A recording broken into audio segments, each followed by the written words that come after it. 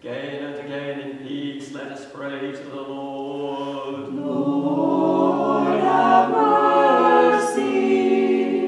Help us, save us, have mercy on us, and keep us, O God, by thy grace. Lord, have mercy. Commemorating our most holy, most pure, most blessed and glorious Lady Theotokos and ever Virgin Mary, with all the saints, let us commend ourselves and each other, and to all our lower life, unto Christ our God. To thee, O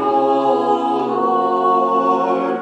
For thou art a good God, and lovest mankind, and to thee we ascribe glory, to the Father, and to the Son, and to the Holy Spirit, now and ever, and unto the ages of ages.